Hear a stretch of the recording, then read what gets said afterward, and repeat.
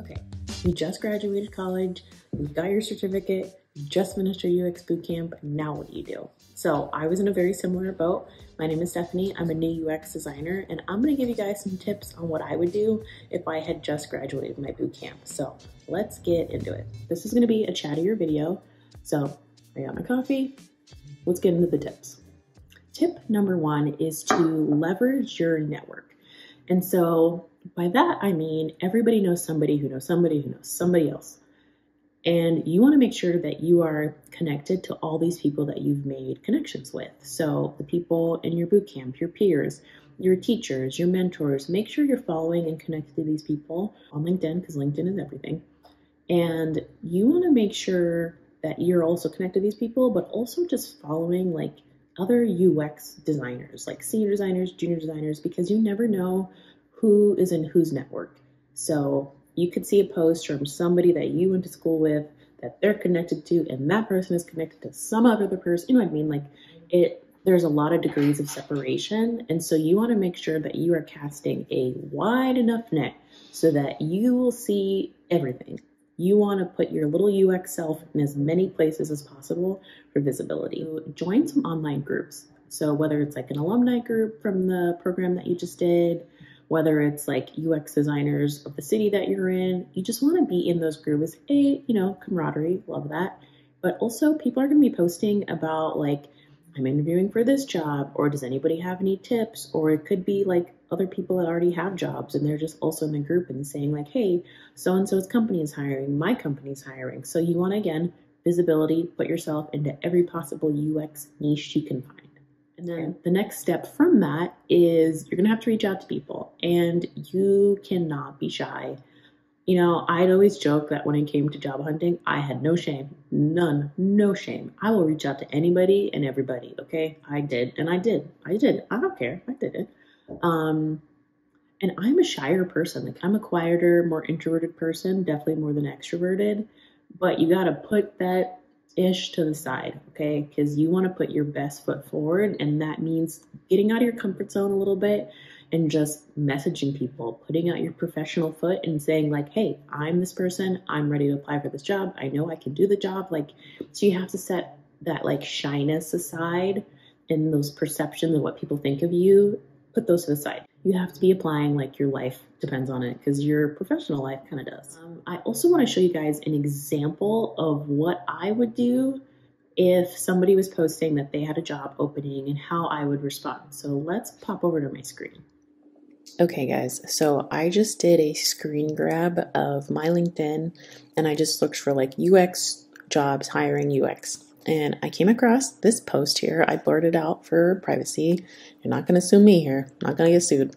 Um, okay, just to like look at this posting. Um, so this person said they're looking for entry level UX UI designer. The minimum requirement is having a personal project where you touch UE4 or UE5 for a 3D base game. Guys, I'm not a gamer, so I have no idea what that means, but some of you guys are. Awesome, love that. Um, so maybe you know what this means. So anyway, so if you've done a personal project or built some small indie experiment, please reach out. Okay. And so people have like liked it, commented, blah, blah, blah. So a lot of the comments I see are something like, I'm interested, just followed you, just sent you a connect. Guys, they're not going to respond to that. Maybe, okay, maybe they will, but they're not going to go out of their way to respond to that because if I'm the hiring person and I just see somebody's interested, it's really going to stand out to me as somebody that's going to reach out and like go the extra mile. So, by extra mile, what I would do, I would connect with this person, follow this person, and then I would send them a connect, like a LinkedIn connect message. And I will show you a message that I have sent before when I was job hunting. So hold on. Okay, so I just pulled up a screenshot. This is something that I sent um, to another person that was posting about a job when I was applying. This person put in like the job application link, so that's what I'm referring to. So I tell this person that I applied for the name of the position and wanted to introduce myself and explain how excited I am about the position. And then I get into a little bit about me. And so I was coming from interior design, like I said, And I didn't have any UX design experience, but I did have seven years of some kind of design experience.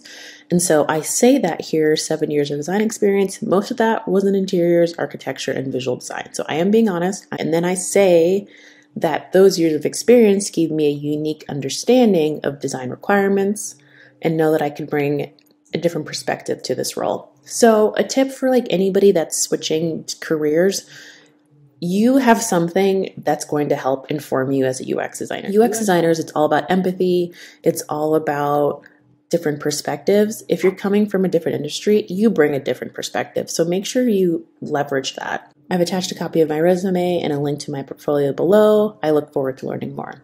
Okay, for the too long didn't read people, you want to introduce yourself, give a little bit of background about yourself, why you'd be good for this role, portfolio, resume, done. If I was receiving this, this would go a lot farther than somebody in the comments that just said, I'm interested. Okay, if you're interested, how about you send me a message, send me your resume, apply for the job. That's how I know you're really interested. Okay. Tip number two is pick a strategy. And I mean like a job hunting strategy. So in my mind, there's two ways to kind of go about it.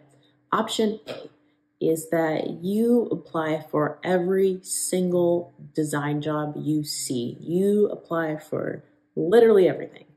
Um, you cast a wide net. If it's UX design, if it's design related, you are applying. It's kind of a game of odds. Like eventually, if you apply to like this many jobs, you're going to get probably this many responses. And those responses you might get this many interviews and this, you know what I mean? Like, and you're kind of playing the odds and probability in the hopes that you will get a call back, that you will get an interview. Strategy B is to craft your cover letter, your resume, your portfolio, and you tailor it to the specific job that you're applying. Okay. So you can't do that with 150 jobs. Like, that's kind of crazy. You can do that with like 10 jobs. So maybe you go on to LinkedIn, you go on Indeed, and you find the 10 best jobs that you think you'd be best at. And so then you're going to go and tailor your cover letter, you're to tweak your portfolio, you're going to tweak your resume to be more appealing to that specific job. And then you send it out that way. There is a good chance that since your information is so tailored to that one position, you might stand out amongst the crowd. But it is time consuming, you know, and it's a lot of brain power to craft it nine different ways to craft your resume nine different ways. So you really kind of have to focus on like which strategy is going to be the best for you. I kind of did a bastardization of both. Like I initially started with the cast the wide net, I'm applying for everything, and that did get me quite a few interviews, but in the end, I kind of started crafting my resume for jobs that I was actually interested in and then that eventually got me my job. So both options are very valid. It just really depends on what's going to work the best for you. What kind of person are you? What kind of job hunter are you? You kind of want to know that before you pick a strategy, but make sure you pick one though. Don't half-ass it like I did. Don't be all over the place. Just pick one and stick with it. The next step is to make sure that you are still practicing. Make sure you're still designing and so you can do that in a couple of different ways. Easy one is to keep iterating on portfolio projects. Like there's a few projects in my portfolio where just like that part of the boot camp was done. And so I moved on to the next project, but I could have kept like iterating some different solutions. So use this time to like make those other solutions happen. Redesign an app that you love or an app that you hate. Like, is there an app that you just think is crap, but you like it and you feel like you could do some tweaks to it to make it feel better, make it flow better, make it look better, like do that. That could be a project that goes into your but oh, portfolio. If you know anybody that has a small business or anybody that wants to start a website or anybody that's got any kind of project or side hustle, offer to build the UI of a website. You know, maybe they've got a developer that they're working with or like a web designer, but maybe you can build the UI for them something else that can go in your portfolio project. It's about finding the little opportunities in your life that you can practice your design muscle. Next tip is to evaluate your options. So where do you want to work? What type of place do you want to work? I have it broken down into three different categories. They are startup slash small, medium-sized company, big tech. We all kind of know what that means. And then the third one is agencies. Um, but I will go over kind of the pros of each type. And so when it comes to small, medium sized startup type companies, what's great about that is that you're probably going to get to work on a lot of things outside of just the designer role. Like if it's a small enough, small enough company, maybe they're going to hire you on as the UX designer, but you're also going to be helping them with logos or graphics or anything maybe the marketing team might need. You're to get a lot of experience pretty quickly because you could be the only and the first designer. You could be on a small team of designers. So you're to be taking a lot on, but you're to learn a ton. So that's really cool. Next type is big tech. And big tech, and I'll explain a little bit more in a second, but big tech is having a tough, tough time right now, as we all see the headlines.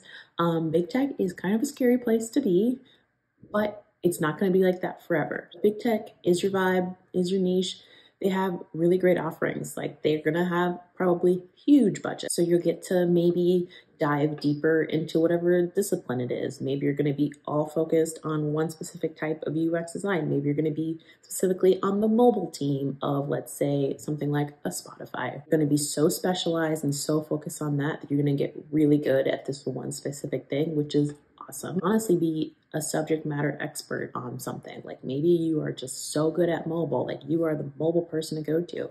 And that is something that is going to be a great tool in your tool belt. And the last one is agencies. And so this one is something I'm a little bit more familiar with because it's kind of similar to how interior design works, but it's going to be client based. So you're going to have all kinds of clients come to you and you're going to be the designer for this client, for that client, which is awesome because you get to see all kinds of industries. When I was in interior design, I did everything from mountain homes to residential to healthcare, office buildings. Like you kind of get to touch a ton of different industries and then it kind of be cool to focus on maybe I like fintech more or maybe I like mobile gaming more. Like you get to see all your options before you have to pick anything. So that show you guys this post here just because I really think this is a good way to be looking at things. Um, I think it's probably okay that I show off Austin here. Um, because he's I see his post a lot of the time. So here he's talking about big tech and how a lot of people feel that, you know, these places are like the dream company. They're the place to work. It's the only place I want to be. And I really like his thinking in that it could be these places, but what's most important is that these things here that it aligns with your values, pays you what you're worth, allows you to enjoy your work, challenges you to grow, and then rewards um, that grow with pay and promotions. Like those are the types of places you want to be thinking about, not just um, how flashy the name is. You know, it can be anywhere, but as long as like you've got these things here, those are the places that you want to be focusing on. So whether that's startup, big tech, agency, like make sure you've got your values aligned. Make sure your values align. The next step is more of a reminder and a mantra that you are not an imposter. You are not. You completed boot camp, you got your education, you meet all the qualifications. Like, it's so easy to think that I somehow stumbled my way into this and they're going to figure me out. But no, you went through the schooling, you got the requirements, you can do the job. Every place is going to be a little bit different of like what the requirements are, but don't feel like you don't belong here. Well, everybody starts off as an awkward beginner, like everybody, I'm a beginner um, it's important that when you are applying that you're not misrepresenting yourself in any kind of way. Like that post i showed you like i said that i did have design experience but it wasn't ux it was something but not ux so come in as you are and that's going to be received. It's okay to be new. Everybody is new. Most people are faking it till they make it. Me you know like i'm confident but i'm also understanding that i'm new and that i'm going to make mistakes but i did the work to be here so I'm not going to doubt myself. Nobody is really doubting you in your profession, so why would you doubt yourself? Okay, guys, that is what I have for you. I hope these tips help. Take a few into consideration, and don't forget to like, comment, subscribe. Drop me any questions below. You guys have been leaving the best questions. You guys are so cool and so smart, and I'm so excited for all of you guys. So please keep them coming, keep them coming. Um, yeah, don't forget to subscribe, and I'll see you guys in my next one. Bye.